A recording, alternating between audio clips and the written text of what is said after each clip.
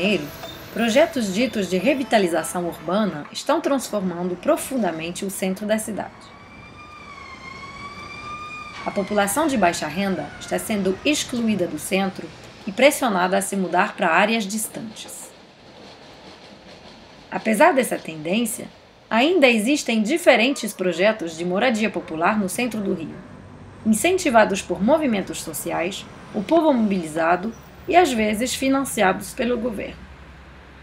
Nós acreditamos que as pessoas de baixa renda têm direito a permanecer no centro da cidade, próximos do trabalho e dos serviços que essa região da cidade oferece. E que elas também têm direito a participar na produção da sua moradia e na criação de uma cidade humana e justa. Mas quem somos nós? O projeto Luta pela Moradia no Centro da Cidade é uma pesquisa de longo prazo sobre o grande desafio de criar moradia popular e digna no centro do Rio de Janeiro. Ela reúne pesquisadores do Brasil, dos Estados Unidos e da Inglaterra, todos trabalhando juntos para entender as lutas concretas pela moradia popular dentro e perto da zona portuária. A pesquisa é financiada pela National Science Foundation dos Estados Unidos e pelo Economic and Social Research Council do Reino Unido.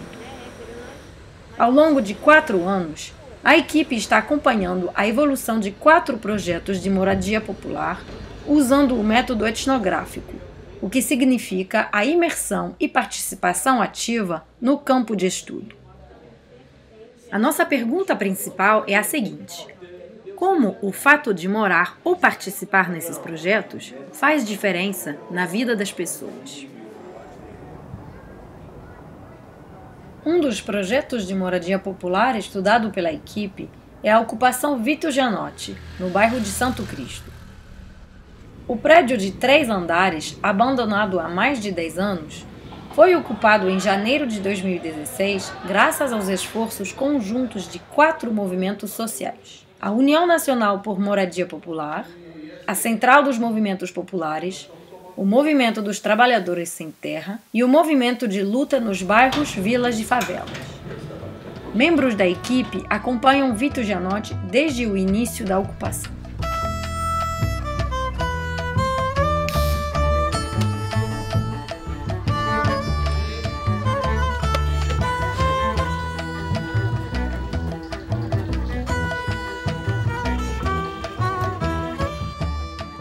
Atualmente, os ocupantes se dedicam a várias formas de gerar renda, fortalecer alianças com outras entidades e transformar a ocupação numa moradia digna e sustentável. Ah, você já pintou. Ah, pintou tudo, Tudo, já pintei esse lado, né? Você fez seu quarto não? Seu, seu quarto grande? Pô, é diferente da última vez que eu vi. Já tô, claro. Eu tava trabalhando hoje aí. Alguém tem que trabalhar nesse país, né? Vem agora, pô, tô de bobeira. Ficou. Não só pintou, não. Foi arrumação mesmo. Você deu uma Olha, arrumada. Vermelho, celeste, essa cor de lá, ó. Tá legal, lá. E como é que tá sendo pro, pro seu moleque? Tá, tá bem adaptado aqui? Como é que tá sendo? Cara, ele é um menino que você conhece ele já. Sim. Sim. tempo conhece, que logo perceber que um cara que se adapta assim. Ah, Vitor, quando tem quilômetro no chão, ele vai, não, não tem problema não. Ele está sendo, está sendo educado e socializado por, por um pai e uma mãe que, que, que vem com, com um histórico de, de luta, de militância, desde o Chile para cá. Então, Então não, tem dá jeito. Pra, é, não, tem dá, não jeito, dá pra virar não- coxinha, né? Não dá, pra- É. não dá pra virar um Agora, e você falou desse negócio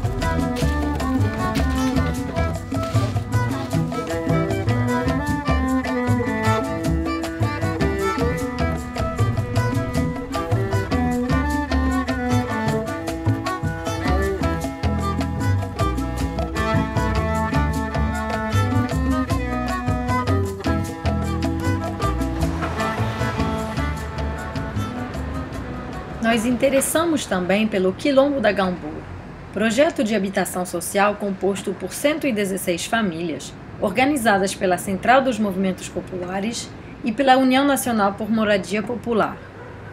Este projeto faz parte do Minha Casa Minha Vida Entidades, um programa do governo federal, hoje ameaçado, que financia obras de construção de habitação de interesse social administradas por movimentos sociais. Um terreno foi concedido ao grupo para a construção de um prédio de moradia. Na espera da verba para iniciar a obra, uma família mora no local para salvaguardar o terreno. Ontem nós falamos lá a respeito da, da questão da vigia aqui no, no terreno. O que, que, você achou quando o Alexandre falou que teria que ser uma coisa obrigatória?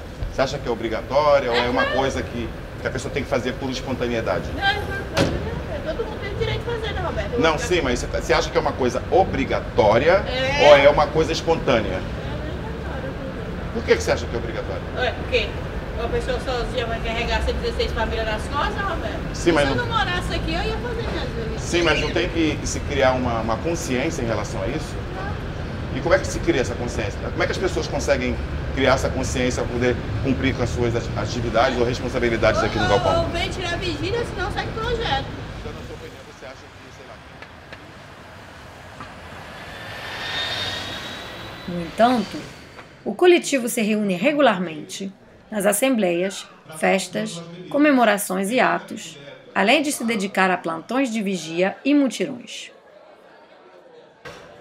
Nós estamos acompanhando o desenvolvimento do grupo e o dia a dia dos integrantes do projeto. Total de 506 reais, sendo depositado em 2 de junho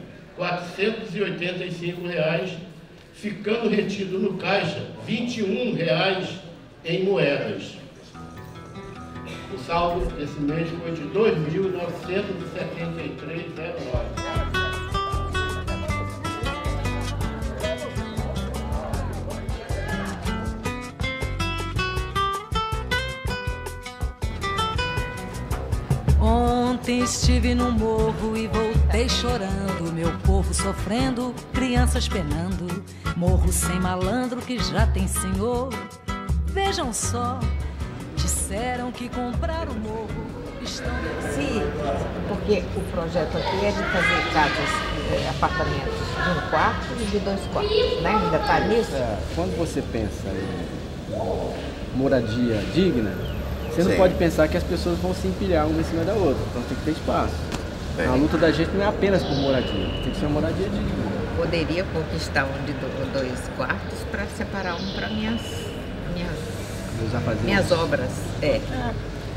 Então, assim, parece que é, é quase certo que, é, que, a, que vai ser todos de dois quartos, por causa da faixa salarial. Beijinho para você, você me deu uma boa notícia. É, uma boa notícia. Já comecei o dia uma bem. Uma boa notícia. É, já anima mais. Mariana Crioula é outro projeto que faz parte da pesquisa. Ele também é financiado pelo programa Minha Casa Minha Vida Entidades e ainda está aguardando o início da obra de construção. 60 famílias, organizadas pelo Movimento Nacional de Luta pela Moradia, estão se preparando para transformar o antigo armazém num prédio de habitação social. Acompanhamos as reuniões, atos políticos, plantões e atividades especiais do grupo. Para entender melhor a realidade cotidiana dos integrantes de cada projeto, visitamos também as casas atuais e lugares de trabalho dos participantes. Disseram que compraram o morro, estão derrubando os barracos de zinco, estão se acabando. Para morar no morro tem que ser doutor. Mudaram o meu povo pra longe, bem distante, aonde Deus não faz morada. Que culpa tenho eu se nasci pobre? Se não posso levar a vida de nobre, meu salário não dá sequer pra alimentar. E as crianças não entendem por quê, que eu nada mais posso. Finalmente, o conjunto habitacional Frei Caneca, no bairro do Estácio, chamou a nossa atenção. É uma iniciativa do governo federal por meio do programa Minha Casa Minha Vida convencional. Composto por um total de 50 prédios e quase mil apartamentos, Ele foi inaugurado em 2014 para receber famílias de baixa renda. Hospedados no conjunto, os pesquisadores têm a chance de conviver com as demais famílias e ver a evolução deste projeto sem igual na região central do Rio. Ah, Adriano, mas você pode falar um pouquinho sobre a sua experiência, o, o, o, que, o que aconteceu exatamente, que você estava morando em algum lugar, chegou o governo, a prefeitura e diz, não, você tem que sair desse lugar, ir para um outro lugar, Naquela época que eles falaram que vocês vão ter que sair, nós ficamos apavorados. Ficou todo mundo com medo. Porque a gente ficou pensando, onde a gente vai arrumar aluguel aqui? 400 reais. Hum. Daí eles falaram, ah, vocês têm que dar graças a Deus que ganharam, que isso, que aquilo. Poxa, eu acho, eu penso, eu falei, eu, eu, quando eles falam eu ganhei, que ganhou, eu falei, eu não ganhei porque eu estava na minha casa. Uhum. Eles me tiraram de lá e me botaram aqui. Uhum. Eles não perguntaram se eu queria, se eu não queria. Aí ligou e falou, ó, saiu aqui em tal lugar, teu apartamento é aqui em tal lugar. Uhum. Né? Mas antes de sair aqui, eles queriam me dar em Santa Cruz, Vila Kennedy, Campo Grande, tudo barra pesado. O que, que a gente vai descobrir?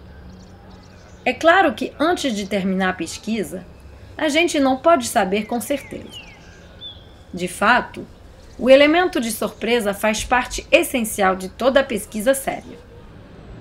Todos os dados que a gente coleta estão sendo arquivados e analisados de maneira a produzir uma reflexão rigorosa e aprofundada sobre a questão da moradia popular na região central do Rio.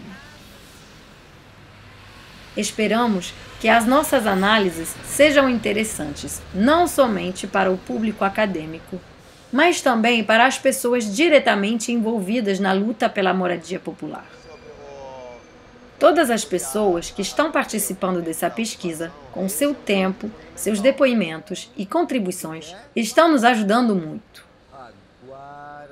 Como retorno, esperamos que essa pesquisa possa também beneficiar a sua luta.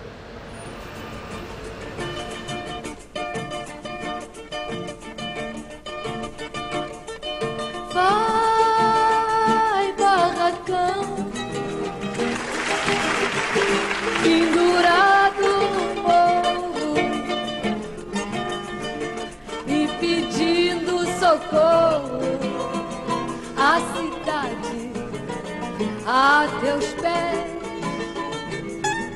Vai, barracão, tua voz eu escuto. Não te esqueço um minuto, porque sei que tu és barracão tradição.